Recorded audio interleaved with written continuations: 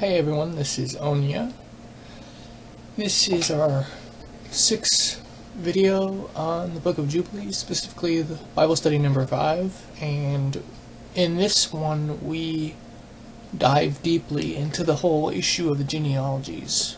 As some of you may know, the versions of the genealogy in Genesis chapter 5 and 11 differ radically in the three different uh, versions of Genesis, it's uh, Masoretic, Samaritan, and Septuagint. They all differ radically. Jubilees adds evidence to that discussion in the Samaritan's favor, at least partially.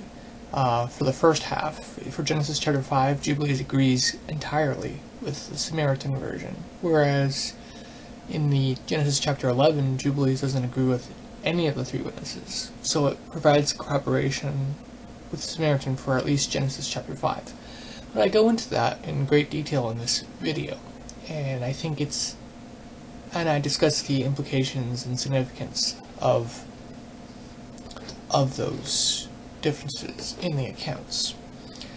So I hope you enjoy that, that information. Uh, this now I'm gonna talk about the Patreon support, so if you want to skip that, feel free to do so. I currently have two supporters. One is donating $25 a month, and the other is donating $10 a month. The $25 a month donator is um, Daniel Simpson, and the other donator of $10 a month is Eliyahu. That's the name he goes by. Now, if you want to support what I'm doing, you can do through Patreon or through any other number of methods such as Facebook, Google, or PayPal. And really any any method that sends me money would be fine. Uh, if you now here there are rewards for if you reach different levels of of reward if you do one dollar every month, I will mention you in my videos as a supporter of mine, as well as in future publications of the Bible that I do. I will also mention list you in a dedication page. If you do ten dollars every month, I will guarantee a Google Hangouts conference with you once a, once a month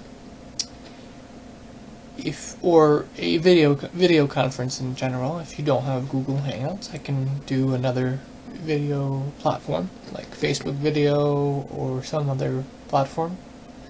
Some people like to use Zoom or Skype. I can do either of those as well. Then you $25 a month is uh, two Google Hangouts conferences a month. $50 a month is four Google Hangouts a month. $100 a month is I will visit you for a 24 hour period once a year. $250 a month I will visit you for 24 hour period twice a year. $500 a month I will visit you for a 24 hour period three times a year and and uh, $1,000 a month I will visit you for a 24 hour period for four times a year. So uh, those are the reward levels. And if you guys have any advice or recommendations to change or alter or add different levels of reward uh, feel free to do so. You can message me or comment in any of the videos saying your preference for a change in the reward levels. Uh, for example if you feel like you can do a certain level of of donation, but you don't want to miss out on a higher level of reward, we can discuss that as well. Like, say you want to, me to visit you, um, like the, the one that's $100 a month, I'll visit you for a 24 hour period once a year. Well, if you live very close to me, then we can discuss the possibility of a, a lesser amount uh, like only $75 a month, I'll visit you for a 24 hour period once a year. Things like that. We can discuss uh, discounts for special uh, cases, or we could discuss completely revamping the entire reward structure for everybody. That's something that I'm open to. If people are wanting wanting that, they can definitely discuss that with me. So, anyways, that's the uh, that's my video, and I hope you have. Uh, I mean, not my video, my my intro to the video, and uh, I hope you enjoy this video on my on the study of the Book of Jubilees. God bless you guys. I think I am recording. I'm recording. So um, today we have uh, Onya Carlson. He's going to continue talking about Jubilees. I'm not sure where you left off, but this is a multi-part uh, uh, discussion and and uh, conversation that we're having. So, um, if you want, uh, Onya, if you want to summarize where you left last left off.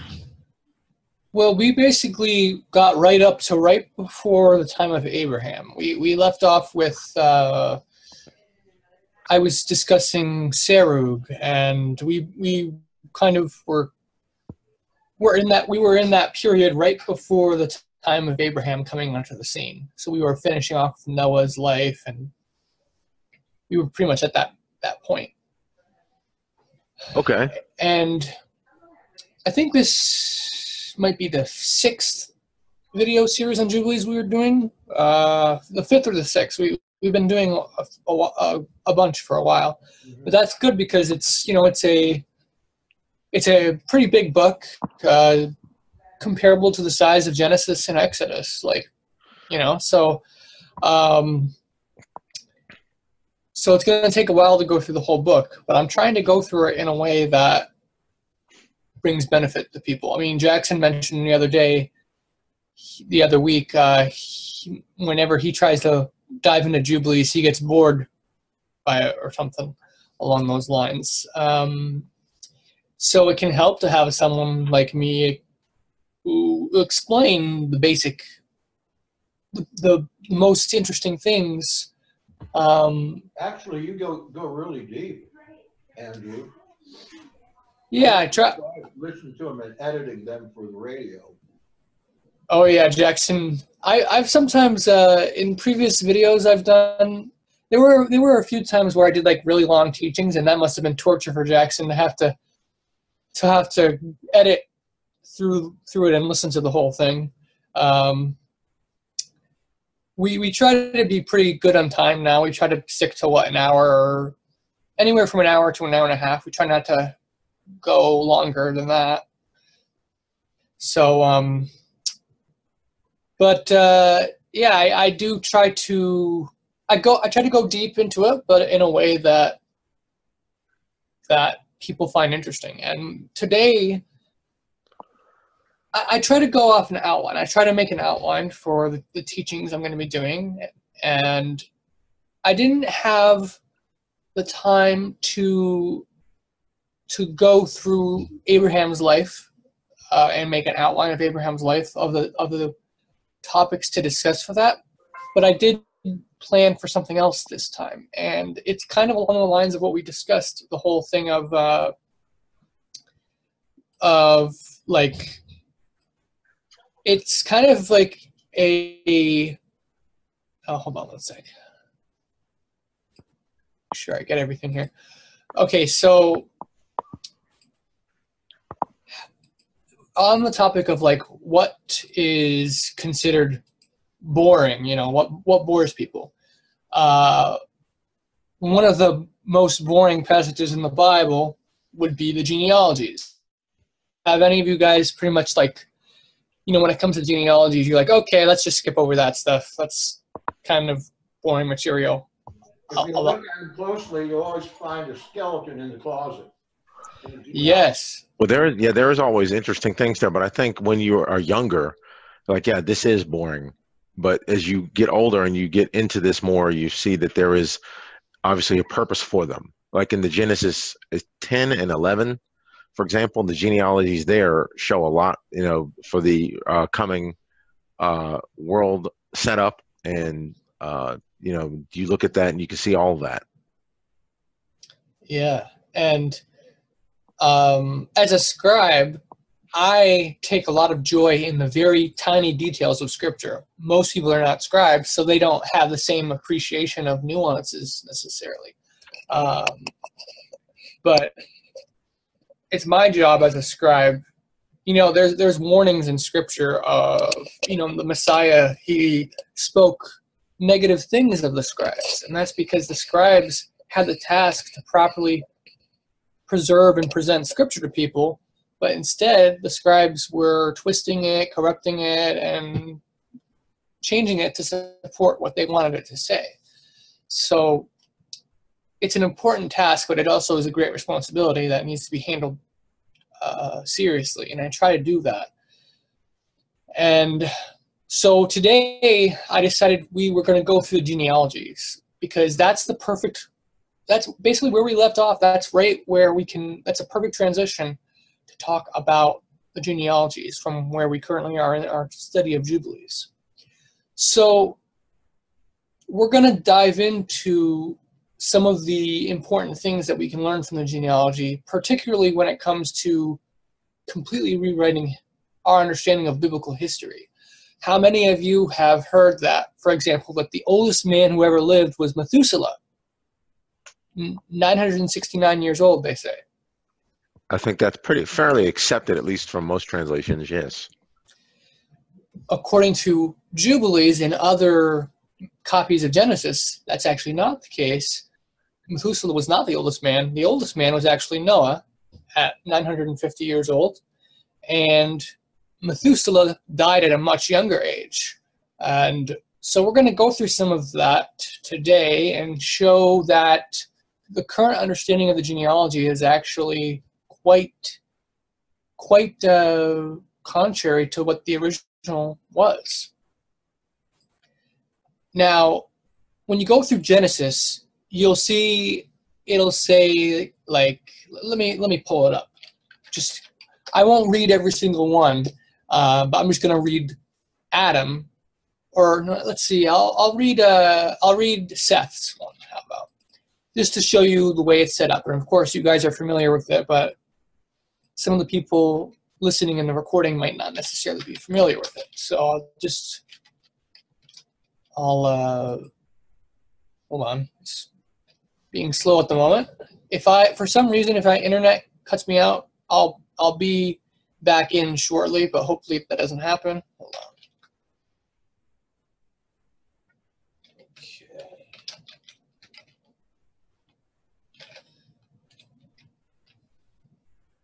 Um, my computer sometimes gets slow because I have like a hundred tabs open right now, and I'm not even exaggerating.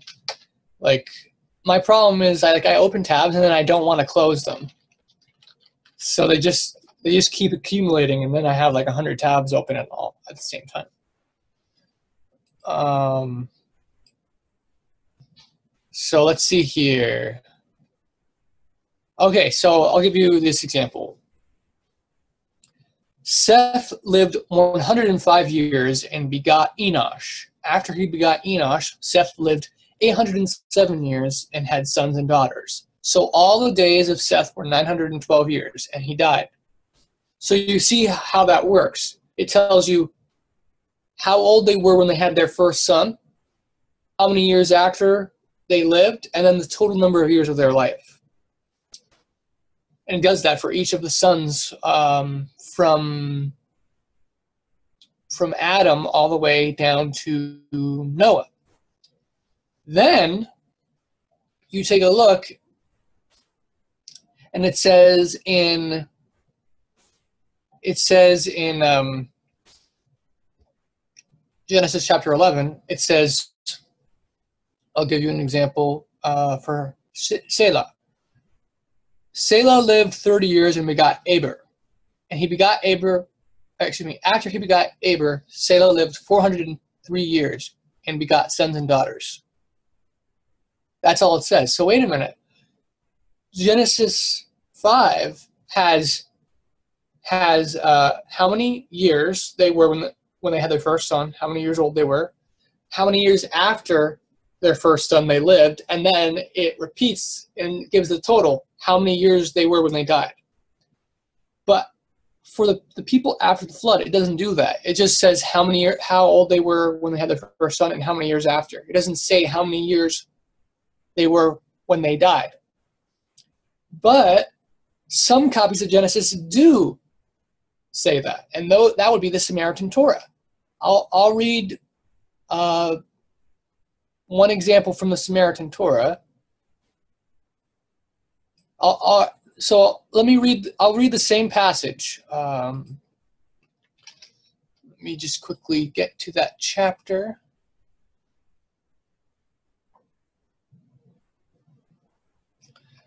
Okay, so it was Shelah. All right. Let, let me let me read uh, the, the. I'm going to read the Masoretic passage one more time. What I just read, and then I'm to and then I'll read that same passage, but from the Samaritan copy, and you're to see the difference. Okay. So here's from the from the uh, Masoretic. It says, "And Shelah lived 30 years and begot Aber, and Shelah lived three years and 400 years after he begot Aber and begot sons and daughters." Okay, that's that.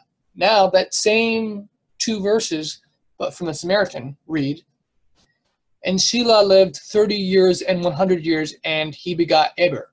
And Shelah lived three years and three hundred years after he begot Eber, and he begot sons and daughters. And all the days of Shelah were three hundred and thirty years and four hundred years, and he died. So you see? You see right there that uh, the, the Samaritan Torah has the extra totals. It, it has the verse for the totals, which is in harmony with with Genesis chapter five. Scribes must have looked at that and be like, okay, that's we don't need the totals. We'll just remove the totals. Because, for example, uh, if you take basic math, you know, you do five plus six equals that equals eleven, right? Well, most people know that, so you don't necessarily need to tell people, oh yeah, it equals 11. So the scribes are like, okay, we don't need to say it equals 11, we'll just say 5 plus 6, and people will figure it out. It makes sense that the original would have had the totals in there. And so the Samaritan shows a older preservation in harmony with Genesis chapter 5. That's just one of the many examples where we see evidence that, that the genealogies have been altered now we're going to get into some of the the huge differences. One of the biggest differences in the, is in the Septuagint version. For example, it says in the Masoretic that Adam was 130 years old when he had his first son, Seth, or not his first son, his uh, successor. And then it says he lived 800 years after he had his first son, and the total was 930 years. What does the Septuagint say? It says Adam was 230 years old, and after that, he lived 700 years, and he died at 930 years old. So you see what do you see there? Both the Masoretic and Septuagint have the total of Adam's life at 930 years. So that cannot be accident. The differences between the Septuagint and Masoretic cannot be accidental. It has to be intentional. The scribes intentionally change the dates for a specific purpose. We don't know. We need to determine why that is. Why did they do that? So, as an example, I'm just going to read through the numbers here. Adam, 130, when he had his son Seth, lived 800 years, died at 930. Septuagint 230, 700 years, 930. Then for Seth, he was 105. According to the Masoretic, he lived 807 years, total 912. Septuagint, he was 205, lived 707 years after, total 912 years. And then again, uh, the next one, 90, 815, 905. Compare that to 190, 715, total 905. And I'll and I'll read uh, two more of, on the same in the same line of thought. 70, 840, total 910. Septuagint 170, 740, total 910. And this one is um, let's see, this who's this one? Uh, Mahalalel. Okay, so he was 65. 830 years after, he died at 895. Septuagint says he was 165. 730 years after, the total was 895. So you see that pattern.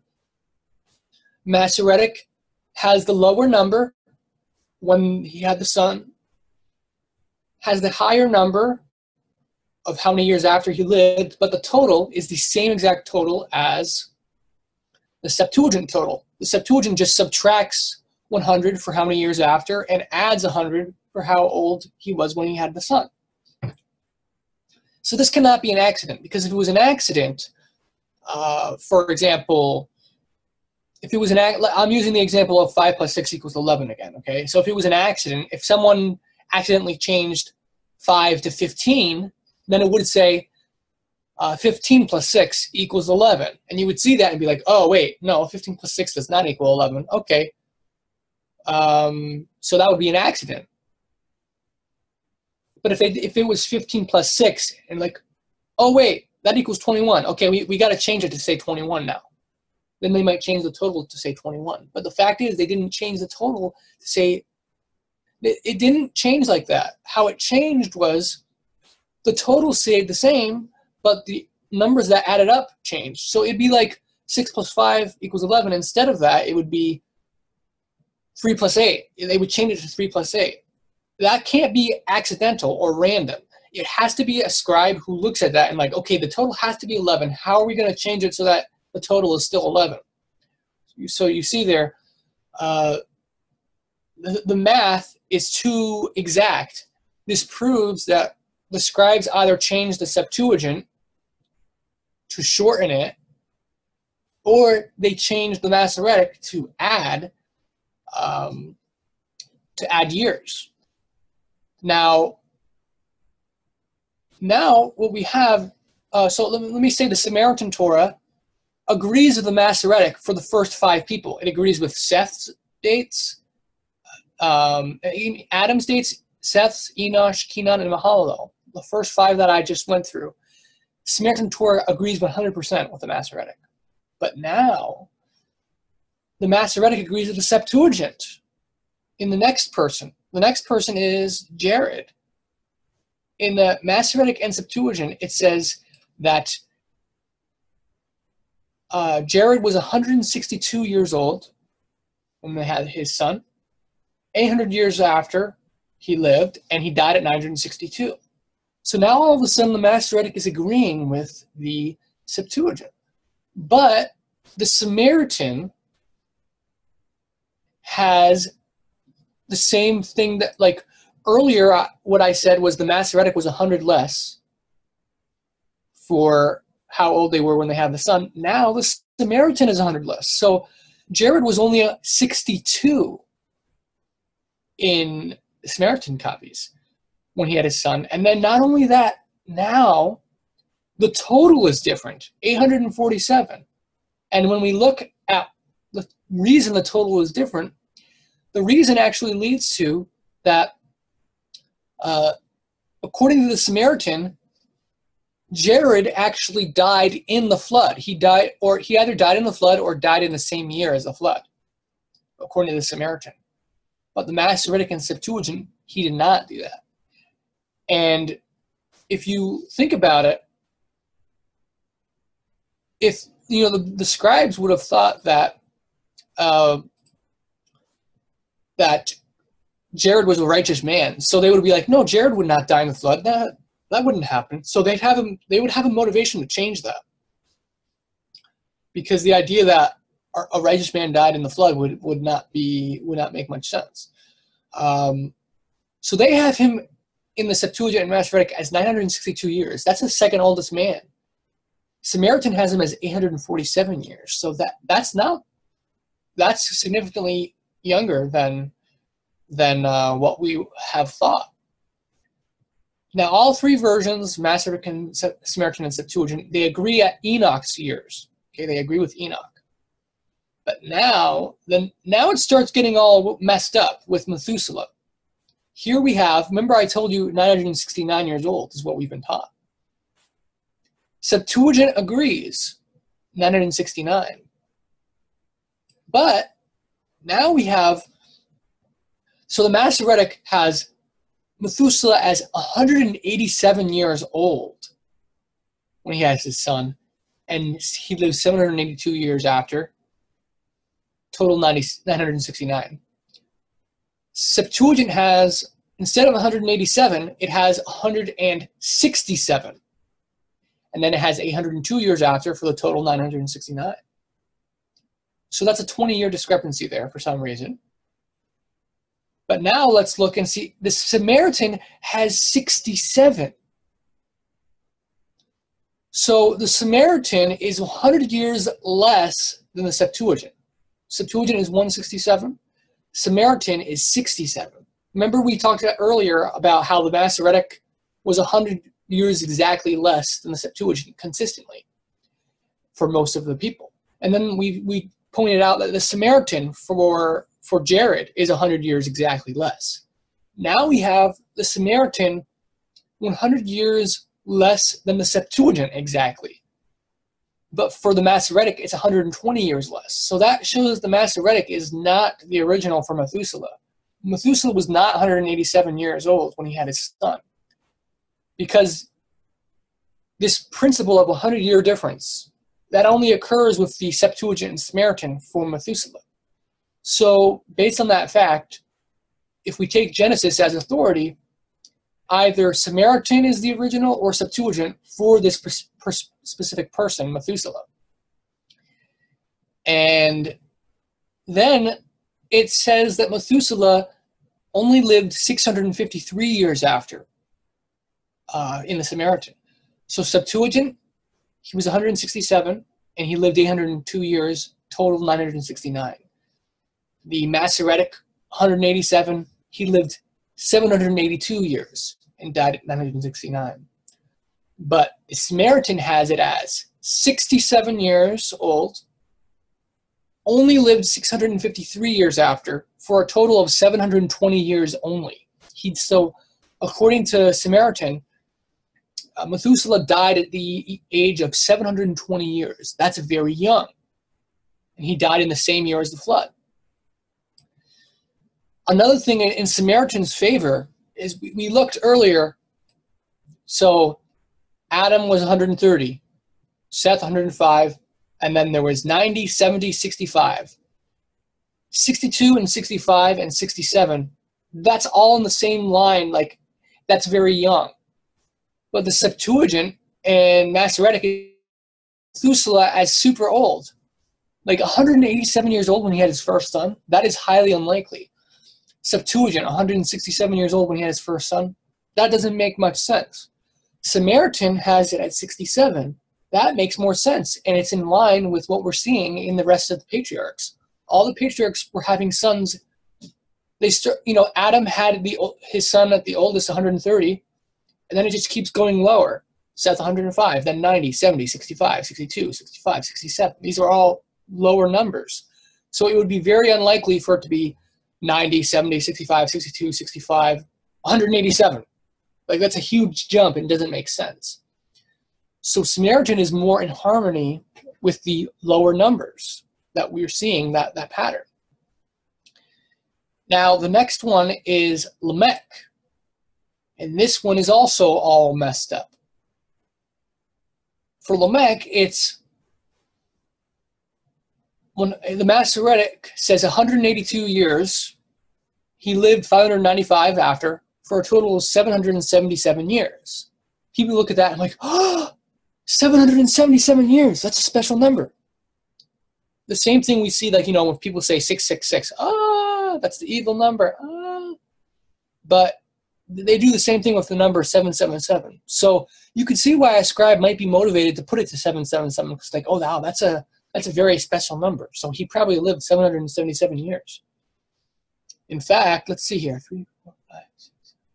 No, he's not a seventh person, but um, so that's Lamech. Um, now for the Septuagint, it's, it's okay. So Masoretic was 182, 595 after. Septuagint, it is 188 plus 565 for a total of 753. That's 34 years younger than the Masoretic. But now is in another example of the Samaritan having 100 less than the Septuagint. It says Lamech was 53 years old when he had a son. He lived 600 years after for a total of 653.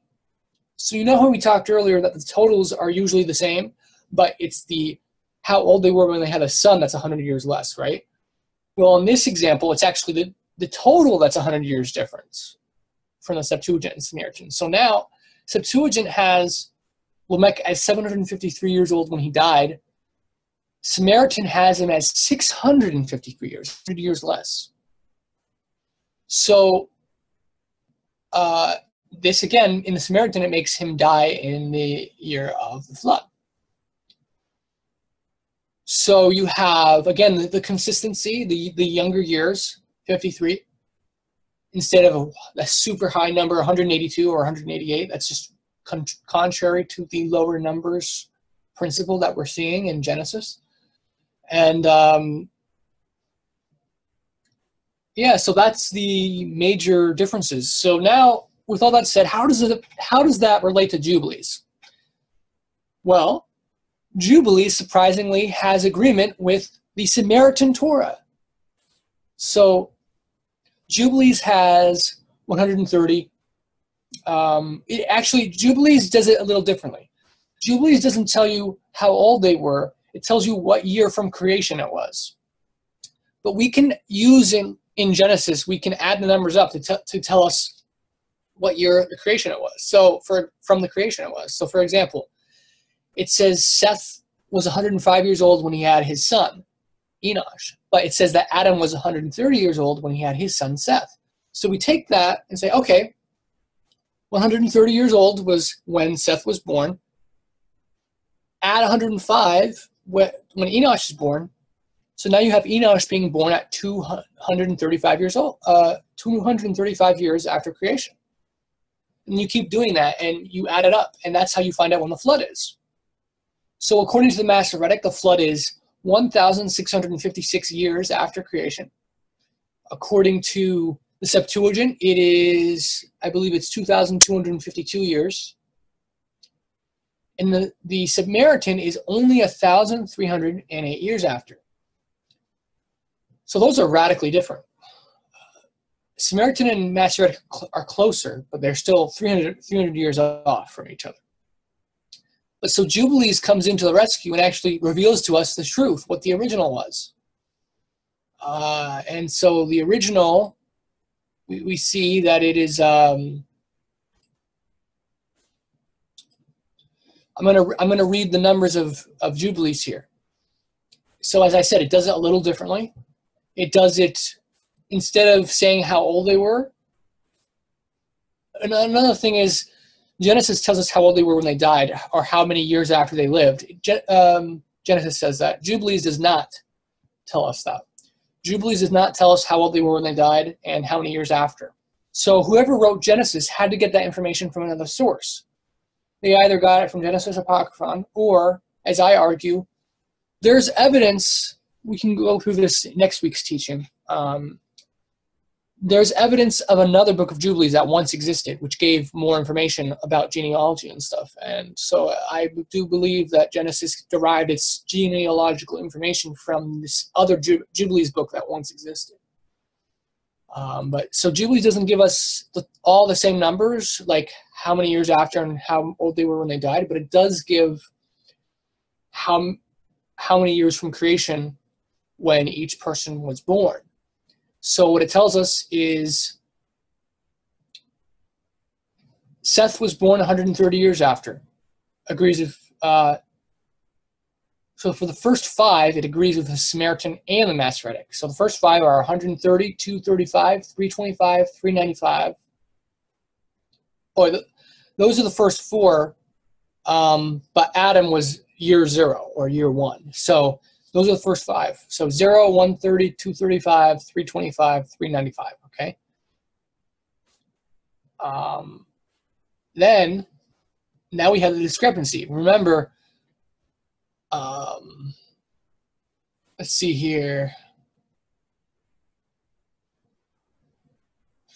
Okay, so now we have, if we add up the numbers, okay, so Jared was born, Masoretic and Samaritan agree was born when Mahala was 65 years old.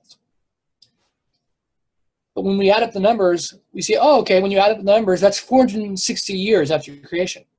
But according to Jubilees, it was in the 461st year.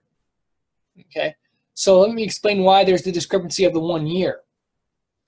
So, um,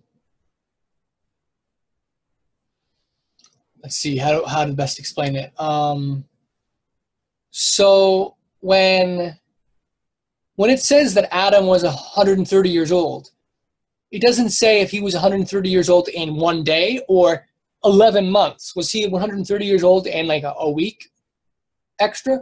Or was he almost 131 years old, but slightly below it? And for each person, it's like that. How old was Seth? Was he basically 105 or was he almost 100? Excuse me. Uh, yeah, it's a 100. Was he almost a 105 when he had Enosh? Or was he almost or was he almost 106? We're just told in Genesis he was 105, but was it right near 105 or was it very close to 106? You know, I'm, uh, let's see, I am 27, I think. Uh, yeah, 27. Um, I had my birthday back in March, but I'm, st- I'm still going to be 27 when it's in February, one month before my birthday. So the, the reason is Genesis doesn't tell us how many months they were when they had the son. So that's why you can see discrepancies over time in different sources that count it differently. Jubilees doesn't count it how old they were. Jubilees counts it um, how many years from creation. So that's why there's this discrepancy here. If you add the numbers, because there's no months in, in Genesis, we have Jared being born 460 years after, but Jubilees tells us no, it was actually in the 461st year. Um, so next we have when was Enoch born? According to Samaritan, he was born 522 years after. That agrees with Jubilees. Uh, Masoretic has 622 years. And then we go to Methuselah. Samaritan says he was 587. That agrees with Jubilees. Masoretic says 687. So again, uh, Jubilees is siding with Samaritan there. Next, we have um, we have Lamech. According to um, according to the Samaritan, it was 654 years um, and the uh, Masoretic, it was 874 years. So now that's a discrepancy of 220 years difference from the Masoretic. Um, for some reason, I did not write down in Jubilees. Uh, I did not write down the Jubilees date. So let me quickly get the Jubilees date. So that's let's see, where are we here? That's for when Lamech was born. Let me just get that date. I forgot to put that there. Um,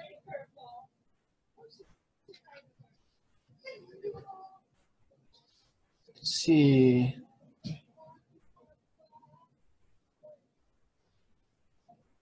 What? Um. Okay. It's it's it's formatted formatted weird here. Um. I'm going to look in Vanderkam's. As I mentioned before, Vanderkam has a translation of Jubilees. I have the file in the Yahad group so people can view that. Um, let me just get it. Let me just close Vanderkam's file, the exact year. Okay, so Lamech was born 652 years after. So now we have another discrepancy of the example of the months thing. Okay, so if you add the years up without knowing what the months are, it looks like Lamech was born 654 years after creation. But according to Jubilees, he was born in the 652nd year after creation. So again, the, the difference is there. It shows that uh, it's because of the months. It, it doesn't tell us the months for the patriarchs. That's why there's that discrepancy. And in many times in scripture, it rounds up, so or rounds down. So if if I was if I was um, if I was 27 years old and 11 months old, the Bible might count me as 28 years old because they're like, oh, you're pretty much 28 years old. We'll just say you're 28. They round up. They also round down. If it's like a few months, they'll round down to. So if I was 27 and three months old, they would round down to 27 years. So that's what we see happening in Genesis. It removes the months entirely and rounds up or rounds down. Um, so those are some major differences right there but Jubilees consistently agrees. Now we have when was Noah born? Noah was born in the in the uh, Samaritan, 707 years old. I mean, 707 years after uh, creation. That agrees with Jubilees. But um, Masoretic has Noah being born nearly, let's see, um, 350 years later. So, according to Masoretic, that's a 350 year gap. That's a huge difference. Um, but again, as I said, Samaritan agrees with Jubilees. So, and let me just read the, the, the years. This is what the Septuagint has. Um, all right, let, let me see. I'll go, I'll go one. I'm going to go very quickly once more through the Samaritan slash Jubilees numbers of how many years after creation. Okay, this is going to be very quick. So Adam zero, then uh, I'm not going to say the names, but 130, 235, 325, 395, 460, 522, 587, 654, 707. Okay, and 1209. 1209 would be when when uh, when Shem was born. All right, so those are the numbers there. Now we take a look at the Septuagint numbers of how many years after creation, and it's wildly different. So it's 0, 230, 435, 625, 795, 960, 1122, 1287, 1454, 1642, 2144. Uh, so that's huge. So Samaritan and Jubilees have Shem born 1209 years after creation. Septuagint has Shem born 2144 years after creation. Huge difference. And that's because Septuagint adds extra 100 years each time. Um, so Septuagint adds like an extra 1,000 years there, as you can see.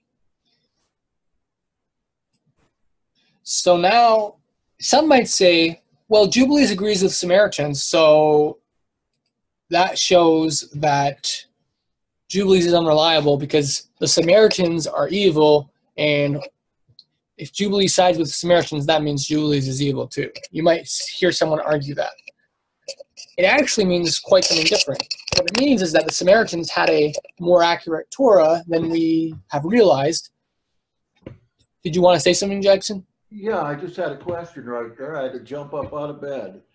Is there any inkling in Jubilees in regard to these these uh, uh, uh, birth years or the huge amounts or any kind of clue? Uh, see if those are coded or anything like that.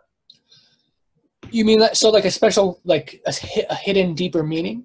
Well, yeah, because you say the numbers are different there than in Genesis and other places. And so, where, you know, I'm, I'm trying to think, is there a common tradition here on these? Evidently not. And uh, do they really mean 750 years or 960 years, or they, do they mean something else? Take Enoch, for instance. I think his was, his was 360. With 365.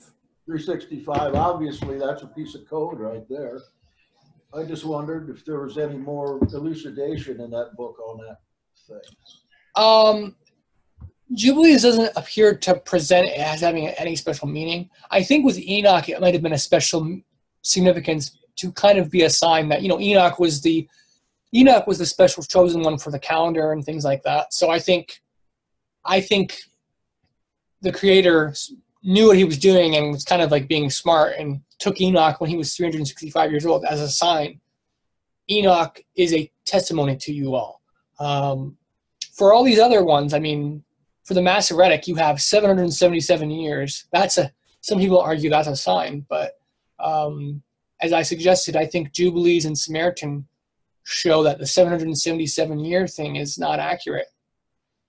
Um, you you would definitely see like people want to make sense out of randomness. So the scribes want to make sense out of these numbers, so they would be more motivated to, to change it to make it special meaning. Like a scribe would be more likely to change this to 777 because that is, than to say, no, let's change it from 777 to a random number.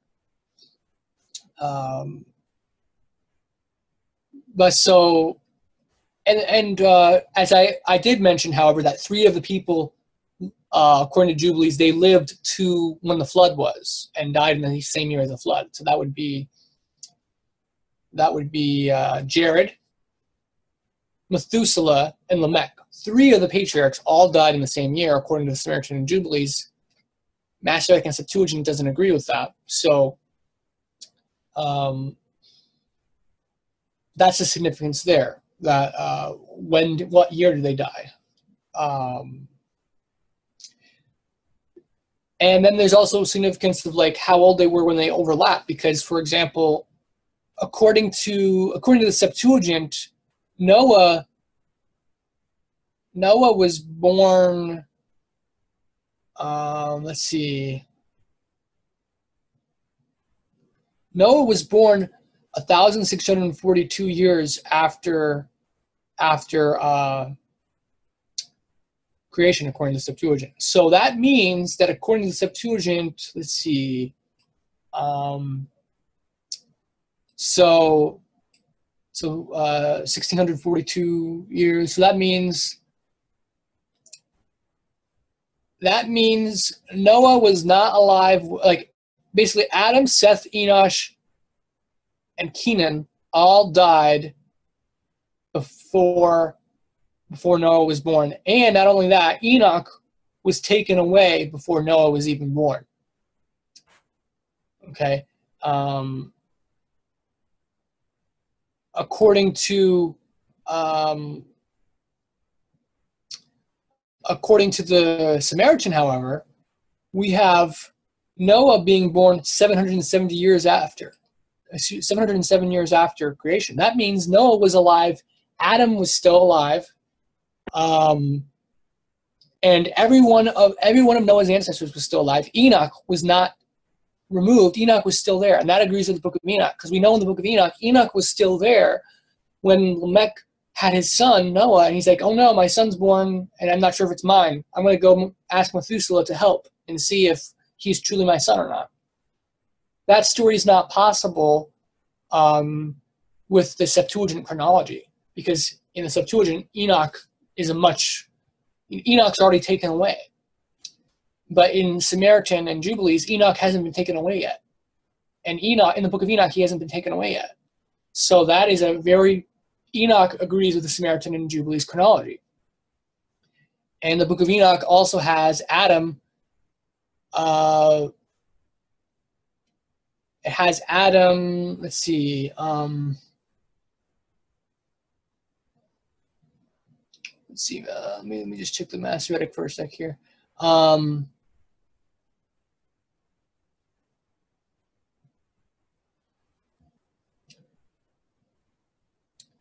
okay, but yeah. So, um,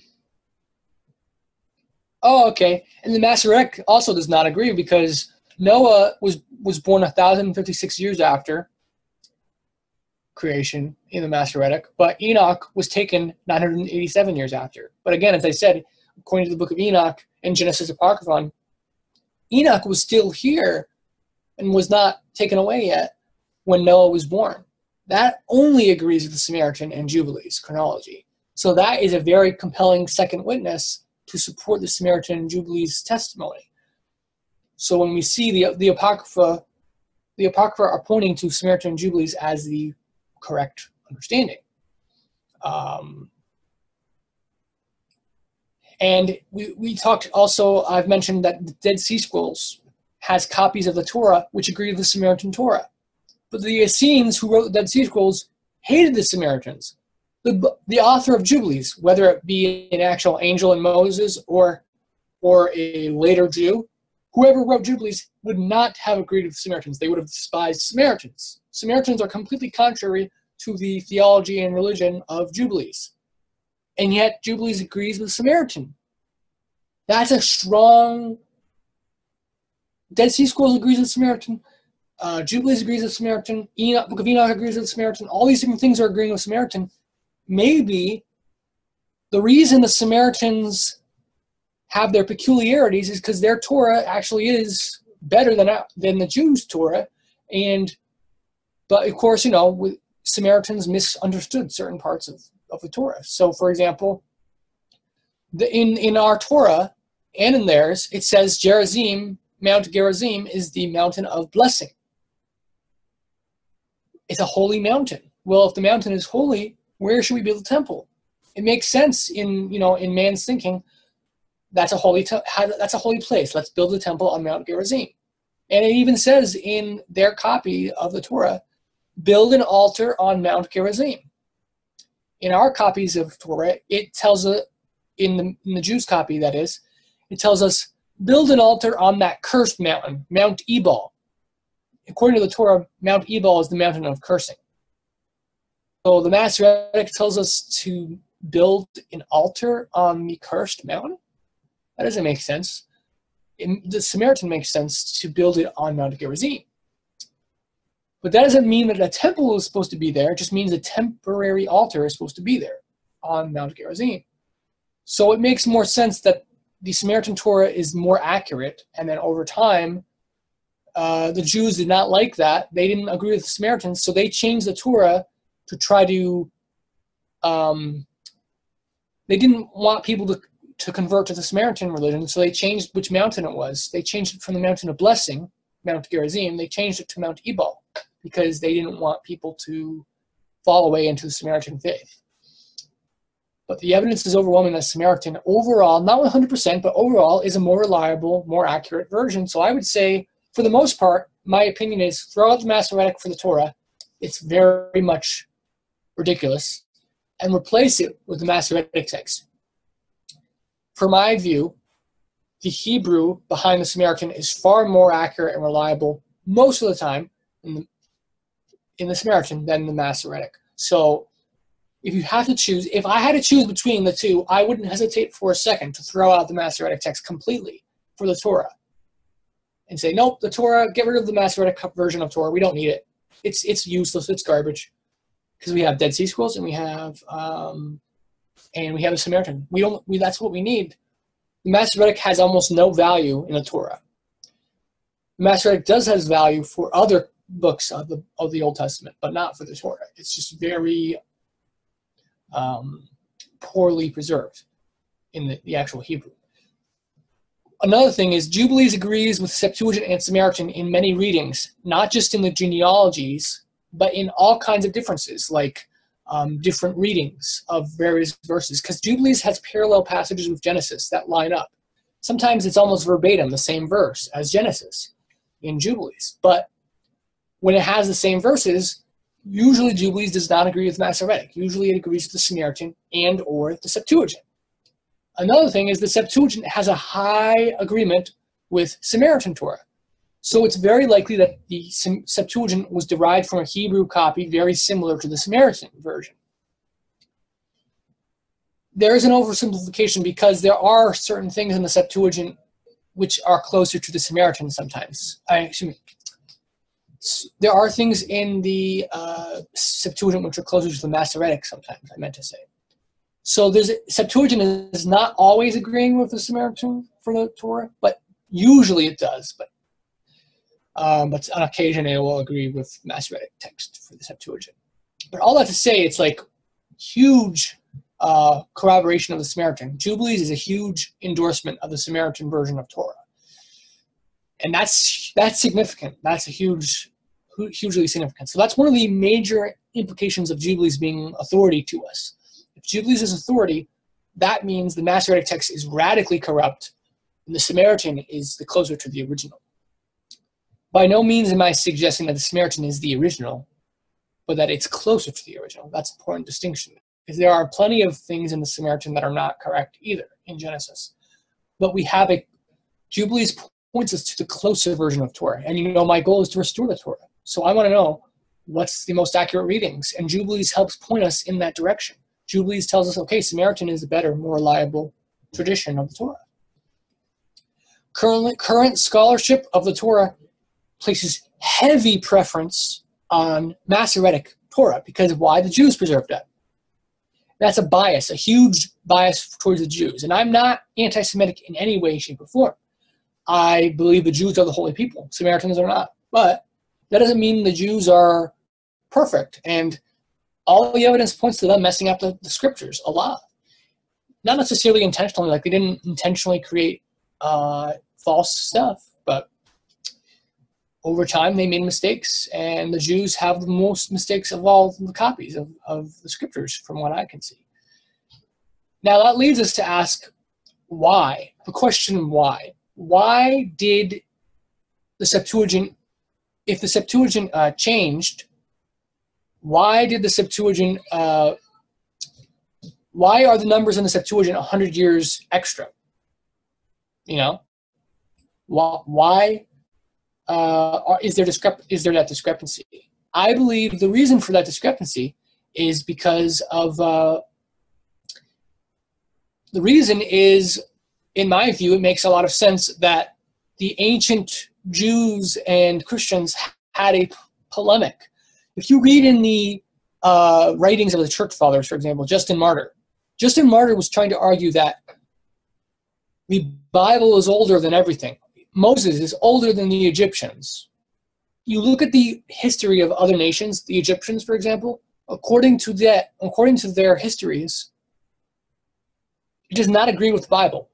It has, for example, it has Egyptian history going back like 3,000 years before before Messiah. That's not possible with a Masoretic understanding or a Samaritan or Jubilees understanding. So it is very likely that whoever was a scribe of the of the Torah, the, the Septuagint version, they're like, well, that can't be. Um, Genesis is inspired, so Genesis must be an error because it can't it can't contradict history. So they actually altered Genesis to make it agree with history. I'm very confident. The, the scribes were like, okay, that doesn't make sense. We know Genesis is older, so we have to change the history to make it agree with the other histories of the other nations. So, um, so that uh, to me is very logical, and that gives a huge motivation. The scribes would not be motivated to change the scriptures to make it contradict history. They would be motivated to change scripture to make it agree with history, current accepted history, because at that time and still today, Egyptian history was believed to go back 3,000 years before Christ, before Messiah. Um, I don't personally believe that that's the, that's the case. I think Egyptian history is very likely to be altered and corrupt in certain ways, just like the Bible has been corrupted over time. I why can't it happen to um, secular copies too? Secular secular histories could certainly be corrupt as well. So I think the, we should be questioning the Egyptian history. But I think the ancients they accepted the Egyptian history at face value, and they were like, okay, that's not good. We need to we need to make sure people know that uh, the Bible is older than Egyptian history. So they kept adding 100 years to push it back, so people would know, okay, um, the Bible is historically accurate.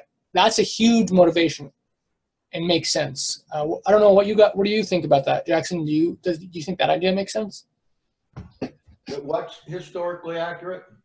Um, do you think the the idea the the Egyptian chronology has the Egyptians um, three thousand years before Christ, whereas according to the Masoretic and Samaritan and Jubilees copy of Genesis, um, Egypt only existed like two thousand years after uh, two thousand years before Christ. So that's a thousand year. Egyptian chronology is a thousand years older than it should be according to the, these younger according to these other bible copies so it makes sense that the scribes would be like wait um, the bible's not wrong the bible's not historically accurate inaccurate so we need to change says to make it agree with history oh well uh, all i can say about that I, I have thought about that actually a lot because i have gone back, worked with the genealogies and the Alfi priesthood and that kind of stuff.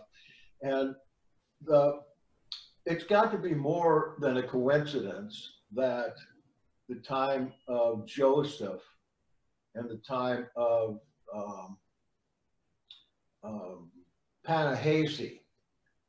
are just the same, and that it's about, oh, only 200 years different than than what is the given the, the uh, received Bible chronology. You know what I'm talking about? Talking um, Akhenaten, Akhenaten and all that. I know you've mentioned some of that before. I'm not fully yeah. familiar with all the details you've said. Sure, but there's there is evidence that is very strong, very very strong evidence that uh, Joseph was uh, in the vizier position during the reign of uh, Akhenaten, and that was uh, beginning in 1350. And along with the Bible chronology, you, you lay that together, and you're not that far off. It, um, I think Abraham's 1800 or so, but that that varies depending on what source you use. But, but like you say, everything the Bible is out of Egypt, just like the Son's out of Egypt, the Messiah is out of Egypt, uh, the faith is out of Egypt, and the third temple is undoubtedly out of Egypt. So, uh, which which way would you think? Well, I was I'll say something, but uh, Governor wanted to say something. I think. Yeah, there's a book by a guy named Immanuel Velikovsky, um, and he has an idea completely different. Um, I think he goes with the saying that the Egyptian timeline is right, idea, and he puts um, the Egyptians leaving. Uh, I'm sorry, the Israelites leaving Egypt much earlier than we would.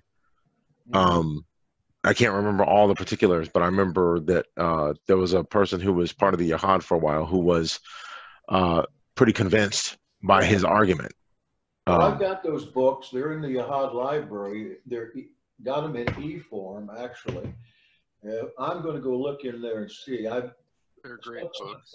for a long time wanting to get into them and see some of that chronology chronology that Velikovsky does. It's like you, I've heard people talk about, well, this is revolutionary and I just hasn't haven't read. Well, it. but it but it assumes that the Egyptian chronology is correct. Yeah, yeah. Now, if if it is not, then there are some serious issues.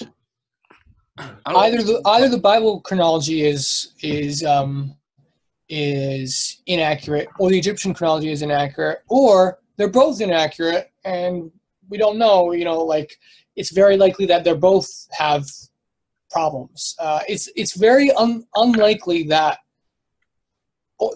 when it, I've studied in the scriptures, like I, as I said, I'm a scribe and I do the textual criticism, and I've seen numbers. The accuracy of numbers are the first thing to go. At numbers and people's names, names and numbers are the first thing to be corrupted. They're very diff- they're very easy to correct um, by later copyists, especially you know if you're translating into another language, for example. That names get get garbled up. Now you mean I, you know for example we have Jesus now.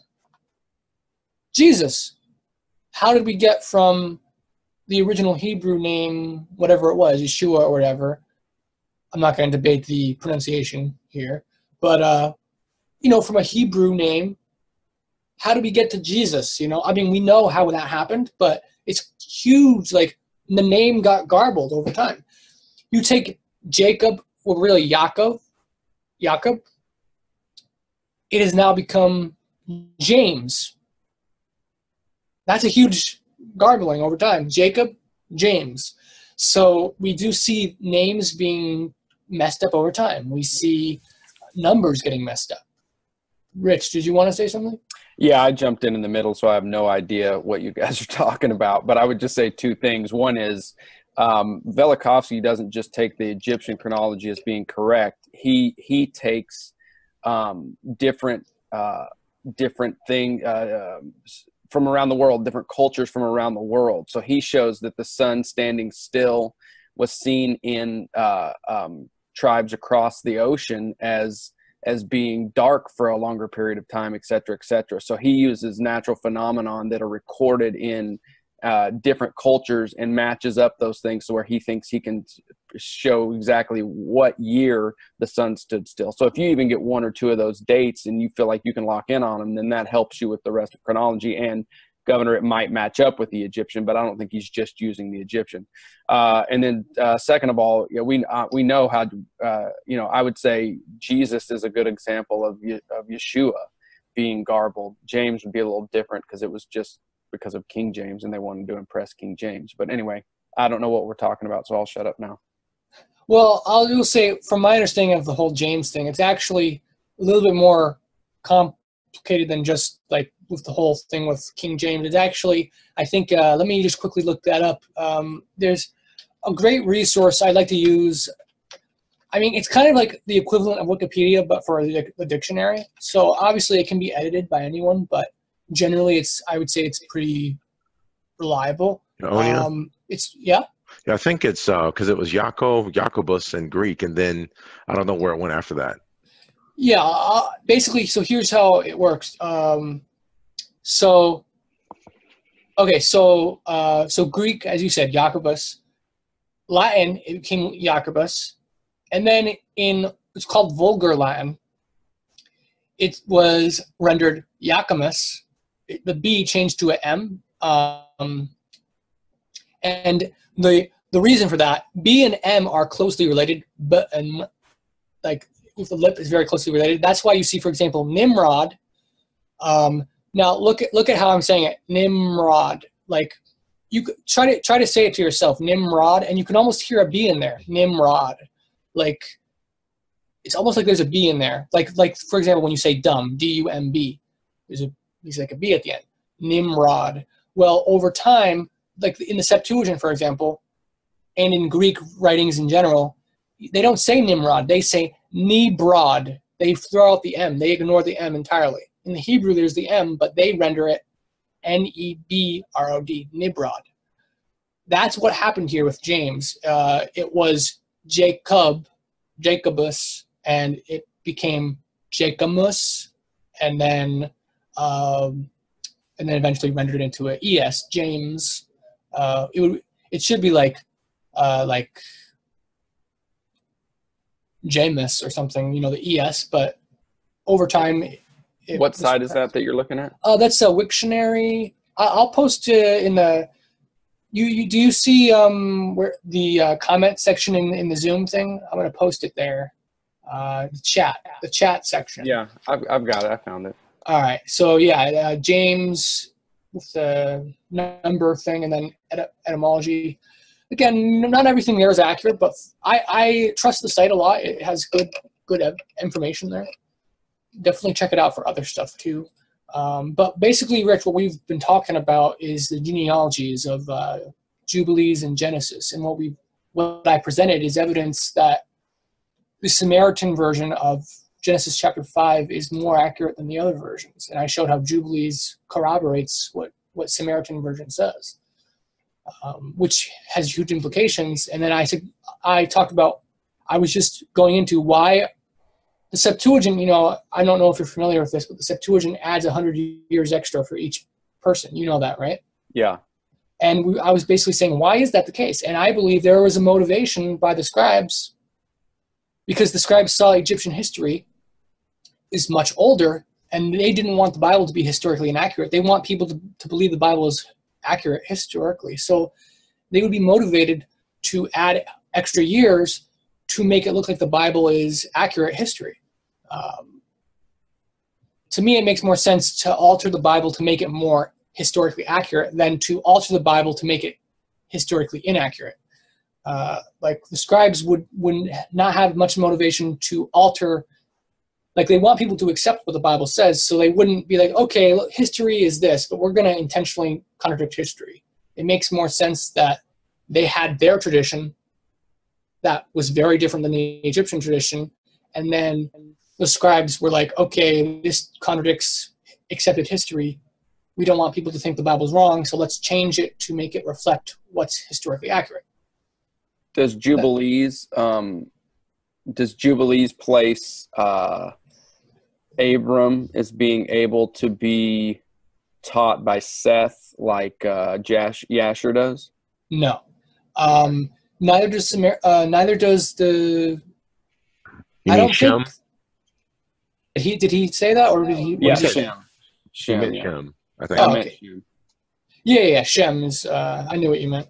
Um, and um, that only works for the Masoretic chronology. Um, the it does not work with Jubilees or the uh, Septuagint or the Samaritan. Um, now, I didn't get into this, but I want to briefly touch on this, and then we'll we'll end this uh, teaching thing. Um, so so far, I showed how Jubilees, for every single instance, agrees with with the Samaritan for the the, the people in Genesis chapter five of how old they were uh, when they had their their son. But now, for the people after in Genesis chapter eleven, it goes all the way from uh, it goes from uh, Shem down to Abram, and there's Jubilees does not agree at all with any of the witnesses of Genesis. So if some people wanted to argue that Jubilees was just copying the Samaritan Torah, well, if that was the case, then Jubilees would be agreeing with the Samaritan Torah for all these people after the flood too. But it doesn't. Jubilees is completely independent. It's radically different. Um, we have Samaritan agreeing with the Septuagint. Uh, we, we have a similar thing with people after the flood compared to before the flood. We talked about how before the flood there was a hundred year discrepancy for each person typically.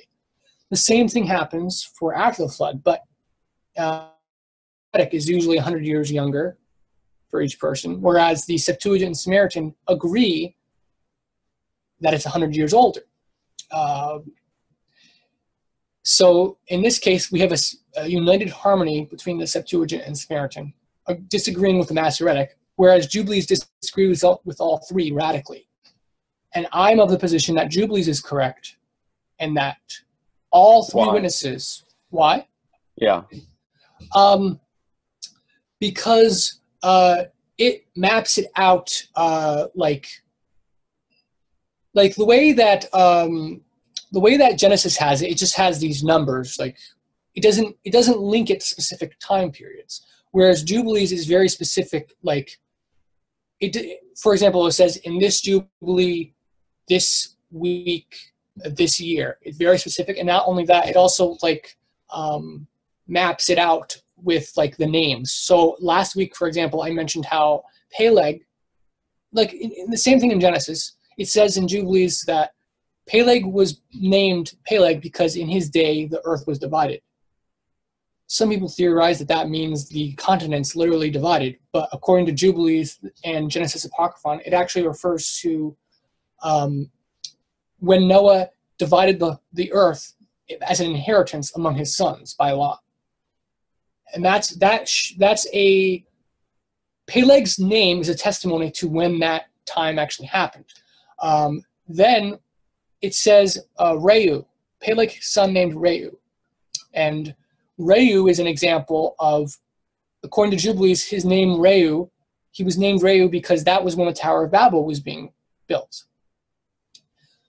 So Jubilees places Reu's birth when the Tower of Babel was being built. That's a specific, a very specific historical placement. Whereas Genesis does not have any markers to place people's lives.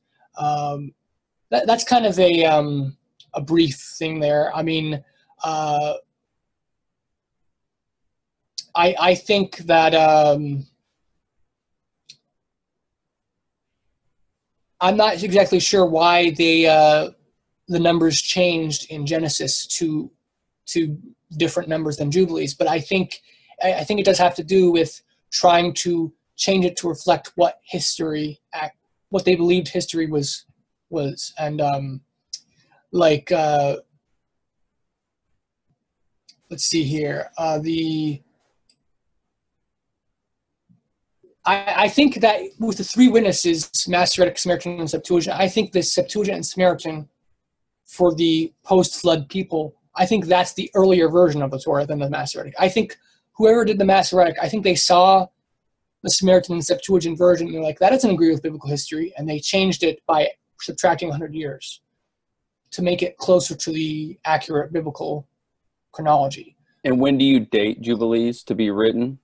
Uh, I accept Jubilees as a face value for what it what it claims. It claims uh, that uh, Moses uh, it was revealed to Moses, but that's the original. Whereas obviously, we, our, our oldest copy of Jubilees, our oldest complete copy, is Ethiopian, which is only like what a thousand years ago or something like that.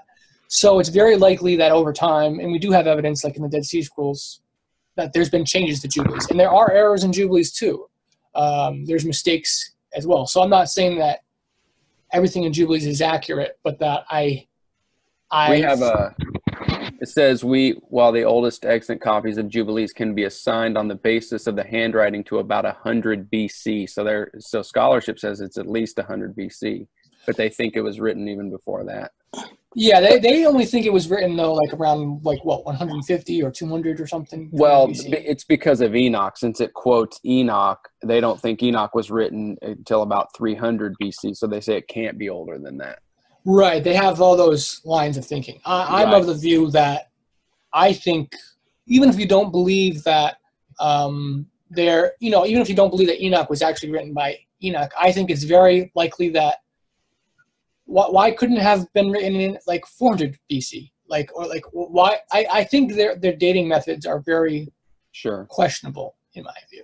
No, what I about agree. the? Go ahead. What about the um Samaritan Pentateuch? Um, uh, who created that? When was it created? Uh, was it created by the ten tribes, or is it something that just? How did it fall out? How does it shake out? Um, well, we we don't know exactly, but I did mention how the, the Dead Sea Scrolls has copies of the of the Torah which agree strikingly with Samaritan. Um, I mentioned how Septuagint has a lot of similar readings. Jubilees has agreements. Uh, so the tradition of the Samaritan has to go back pretty pretty anciently, back at least until the Second Temple period. Uh, I believe that um, I think the Samaritan Torah in its current form is probably only from like second century BC, right around there. Uh, same thing with Masoretic and Septuagint. They're they're later versions. I think I think the Torah, like we know according to the various traditions and certain scriptures that Ezra restored the scriptures and restored the Torah. Um, I think the version of the Torah that Ezra restored was very different than the version that any of our copies of Torah preserve. Um, I think the version of, like I've mentioned before in my teachings, you know, the Temple Scroll being the original Deuteronomy. Uh, I think Ezra restored the Temple Scroll, or, you know, not the Temple Scroll, but a copy almost identical to the Temple Scroll for Deuteronomy. Um, but then eventually, um, this different version of Deuteronomy came onto the scene. So how did that happen? I think uh, it either happened. I think either the Samaritans are responsible for this different Torah uh, that we have. Like, um, that it could be like, you, you know, when the uh, Samaritans were they wanted to join the Israelites in building the temple, in according to Ezra and Nehemiah, but they were kicked out. because of that, it's very possible that they made their own Torah to reflect their temple because they built their own temple. So they wanted their Torah to reflect their religion. So it's possible they edited it and then um, I mentioned in last week's, I think it was last week's teaching, um, First Maccabees tells us that all the scriptures were not all, but most of the copies of scripture were lost during the Maccabean Wars when the Greeks were persecuting them. And it tells us that Judah Maccabee made a call for all Israel and basically said, okay, everybody, find the books of scripture and hand them to us so we can preserve them. So during that time, it's very likely that people weren't sure which Torah to accept. So they might have been more likely to accept the altered Torah during that time of chaos where everyone's like, where's the scriptures? Where are the scriptures? We need the copies of scripture. Um, but it is also possible that the Torah was altered um, by the Jews to support their oral traditions. It's not clear exactly. Um, but either who, whoever came up with the Samaritan Torah um, I believe that the Samaritan Torah and the Masoretic text are linked. Like I think the Masoretic Torah is derived from the Samaritan uh, version over time. So either either the Jews took the Samaritan version of Torah during the Maccabean time, or the Samaritans took it from the Jews during. It's it's one or the other. I think. It's it's my theory. I don't have proof necessarily, but I think it's the most likely thing that I can come up with at this time. Uh, but yeah, Samaritan Torah, as we know it, doesn't exist. It doesn't exist prior to Ezra. I'm very confident it does not exist prior to that time. Okay. Um, yeah, that's. I think that's going to have to be it for this week. We'll have to wrap it up because we got something else we need to. Sure to. thing. Yeah, it's pretty much it. So next week we'll continue probably with Abraham. Uh, we're going. We're doing this series on Jubilees, Rich. So um, this is like our fifth or sixth video, so we'll we'll continue next week hopefully and go through Abraham, Abraham's life. All right. Um, so thanks for everybody who came to uh, listen, and this of course will go up on YouTube here shortly. Um, Jackson, did you want to say something? Yeah, I Did just want to say another excellent job. Thank you. You're welcome. Any more any questions or things you want to say? You can always say it on Facebook. All right, guys. Thanks. It was great. Shalom, guys. You have a good you have a good day. Oh, All right, you too.